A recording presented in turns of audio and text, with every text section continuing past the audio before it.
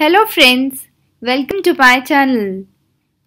Today we will understand the meaning of perhaps in Hindi. आज हम समझेंगे perhaps का हिंदी में मतलब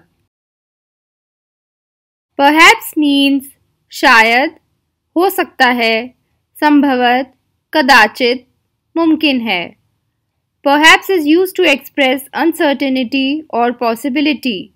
मतलब अनिश्चितता या संभावना व्यक्त करने के लिए इसका प्रयोग किया जाता है।